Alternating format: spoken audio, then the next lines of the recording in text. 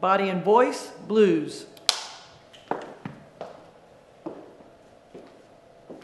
This is for the conception, for what you swore was bad reception when she called you on the phone and told you she was pregnant. For the first trimester, when you accepted that you were going to be a father, this is for men who go further. Strive to be better.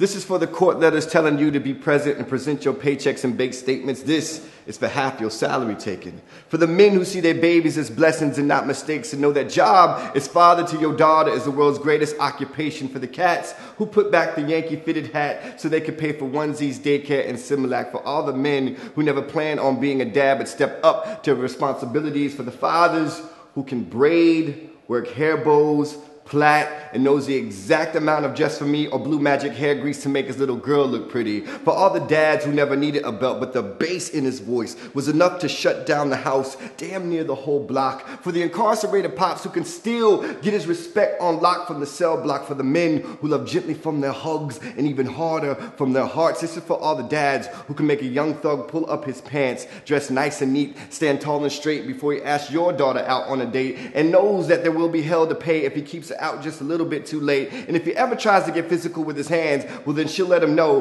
that my father, my brother, my uncle, Pop Pop, and little Caesar up the street all want to have a conversation with you, Playboy. You know, man to man. This is for men who plan, who may come up short on child support payments, but never come up short or missing on birthdays. The ones with the crazy baby mamas, but never allow that drama to keep them away on their visitation day. This is for all the dads who know all the words to every Justin Bieber and Miley Cyrus song, who know that tea time ain't got nothing to do with golf, who hold their sons when they cry, teach them respect when they talk, for all the fathers who raise their daughters by feeding their minds with books and knowledge of the history, not let them be misguided by what they see on TV. This is for the rich dad, the poor dad, both breaking their backs to give their kids more than they ever had. This is for you, soldier, with your child's future on your shoulders. Don't you ever give up. You fight the war for the sake of your babies. Don't let me find out you can't hustle for little man, but we'll take penitentiary chances for a new Mercedes or some broad name Mercedes. This is for the workers of the third shift just to get that Christmas gift. For the trap boys working to feed your twin boys. For the men pushing construction into your back aches, but know that pain will lift away with your children's laughter.